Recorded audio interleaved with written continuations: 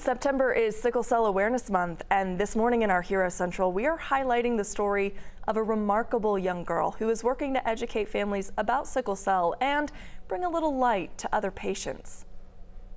I love playing with Barbie, so I have my dollhouse right here.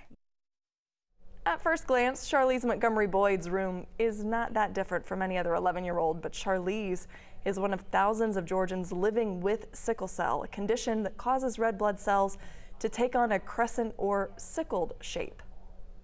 I would usually catch a cold. I would usually be shivering in the middle of the night, and I my mom would have to take me into the emergency room.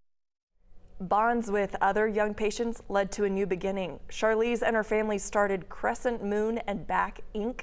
to educate families about sickle cell and also bring a little joy at the same time.